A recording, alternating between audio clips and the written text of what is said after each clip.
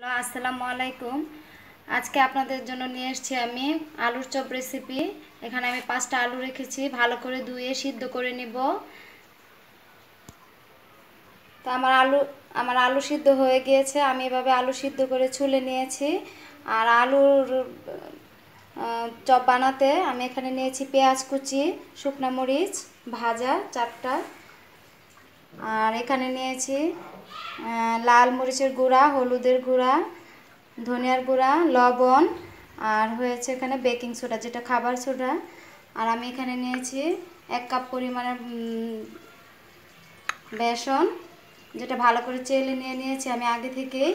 আর নিয়েছি পানি, যেটা আমি বেসনটা গোলাবো। এখন আমি চলে যাব আলুর চপ বানানোতে। আমি এভাবে আলুগুলো ভর্তা বানিয়ে নিয়েছি, আমরা আলুর ভর্তা যেভাবে খাই, আপনারা ইচ্ছে করলে সেভাবে বানাইতে পারেন। এভাবে বানিয়ে আমি শেপ দিয়ে দিয়েছি আমার পছন্দ মতো।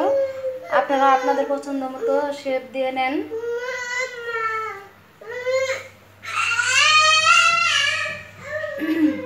তো এখানে আছে আমি এগুলো এখন বেসনের সাথে মিক্স করব। মিক্স করে দেখাবো আপনাদেরকে। যে কীভাবে আমি বেসনটা সবার পরে, ইয়া, কী বলো এটা খাবার সোডাটা যেটা ওটা আমি সবার পরে দিব। আগে লবণটা আমি দিয়ে নিলাম।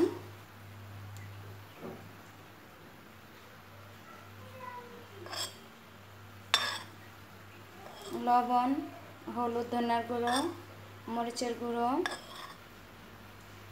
সব দিয়ে নিচ্ছি।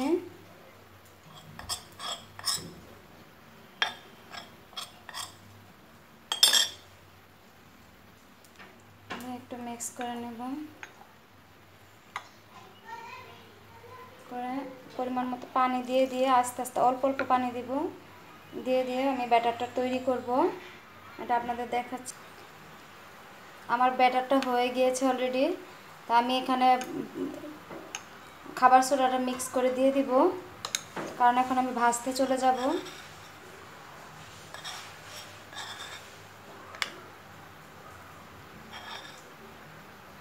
হাফ চা চামচের মতো আমি বেসন দিয়েছি ইয়ে দিয়েছি ওই খাবার ছোটা। হাফ চা চামচ। এটাকে মিক্স করে আমি এখানে একটা কড়াই নিয়ে নিয়েছি এবং অলরেডি আমি কিছু তেল দিয়ে দিব। তেল দিয়ে গরম করে নিব। তারপর একটার পর একটা আমি আলুর তেলটা একটু গরম হলে একটা করে আলুর চপ ছেড়ে দিব এখানে।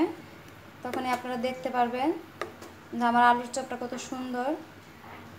আর আলু, আলুর চপের, আলুর চপ রেসিপি একদম সহজ। আপনি অনেকভাবেই করতে পারেন। অনেকে আলুর ভর্তা যেভাবে করে, ওইভাবেই করে দিয়ে দেয়। অনেকে আপনার এটার সাথে পাঁচ ফোড়ন মিক্স করে দেয়। তো আমি পাঁচ ফোড়নটা নিয়েই আমার কাছে, এর জন্য আমি দিলাম না। আমার আলুর চপগুলা এই যে এইভাবে হচ্ছে। আপনারা দেখতেই পাচ্ছেন। এখন আমি নামিয়ে নিব। আলুর চপগুলো প্রায় হয়ে গিয়েছে। এ হয়ে গেল আমার আলুর চপ রেসিপি আপনাদের যদি ভালো লাগে, অবশ্যই ট্রাই করবেন। আর আমার রেসিপিটা একটু ফলো করবেন। আশা করি আপনাদের সবার ভালো লেগেছে। আপনারা এটা সস দিয়েও খেতে পারেন। অথবা অথবা আপনি ওই ইফতারির সাথেও খেতে পারেন। আর সবার জন্য দোয়া করি, সবাই ভালো থাকেন, সুস্থ থাকেন, আশা করি সবাই ভালো থাকবেন। আমার জন্য দোয়া করবেন। আসসালামু আলাইকুম।